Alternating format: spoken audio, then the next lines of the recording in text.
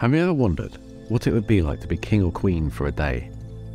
How about nine days? That's how long Lady Jane Grey ruled England in 1553. But what could possibly happen for her rule to last only nine days? Who was Lady Jane Grey and how did she end up on the throne? In this video, we're going to tell you the tragic story of the Nine Days Queen. Lady Jane Grey was born in 1537 into one of the most powerful families in England she was the great granddaughter of King Henry VII and the cousin of King Edward VI, who was only a few months older than her.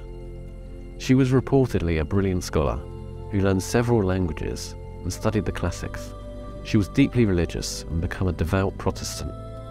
When she was just nine years old, she went to live with Catherine Parr, the sixth and last wife of King Henry VIII. Catherine was kind and loving to Jane and taught her about the Reformed faith Jane also met Catherine's husband, Thomas Seymour.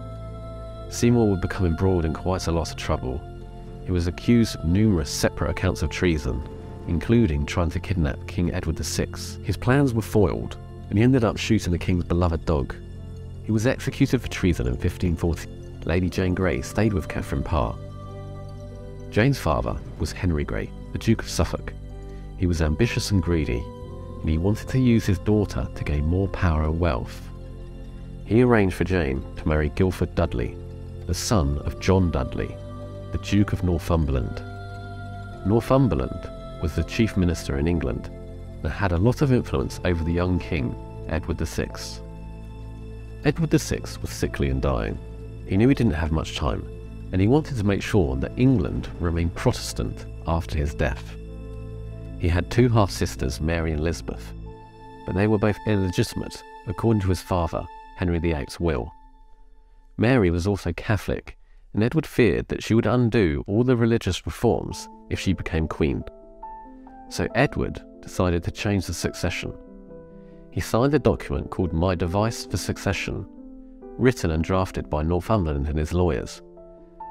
This document named Lady Jane Grey as his heir and excluded his sisters from the throne.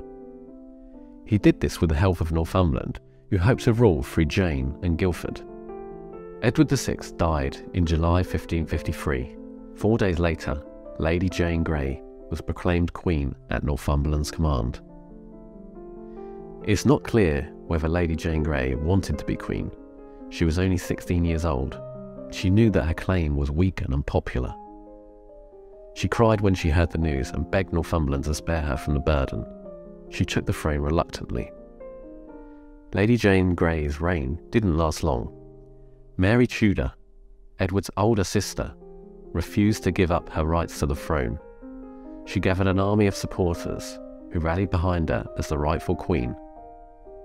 Many people in England preferred Mary over Jane because they saw Jane as a puppet of Northumberland and a traitor to their faith. In July 1553, after only nine days as Queen, Lady Jane was deposed by Mary, who entered London in triumph. Lady Jane and Guildford were arrested and imprisoned in the Tower of London, along with their fathers and other supporters. Northumberland was tried and executed for treason, and he confessed that he had been wrong to oppose Mary. Lady Jane and Guildford were also convicted of treason, but Mary spared their lives for a while hoping that they would convert to Catholicism.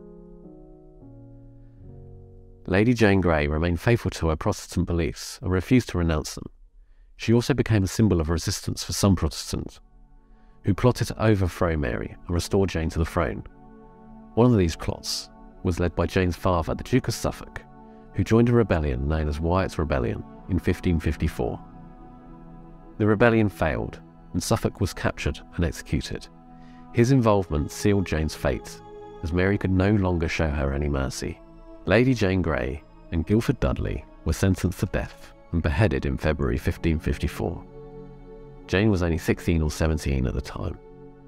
She died with courage and dignity, refusing to give up her Protestant beliefs. Jane's story is one of the most tragic and notable in English history.